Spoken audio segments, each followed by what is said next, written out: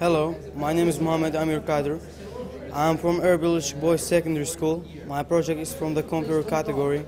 My project's name is Catapult Weblogin Cracker. What's the program?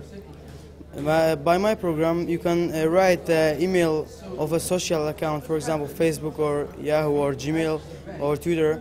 Then give the program a word list. A word list is, uh, is a list of the most po- uh, popular passwords of uh, social accounts on the internet. Then click a button called crack. Then the program tests all the passwords in the list to the account. Then when it finds, finds the right password, it uh, says crack it. If not, it says not found. What's the aim of my program?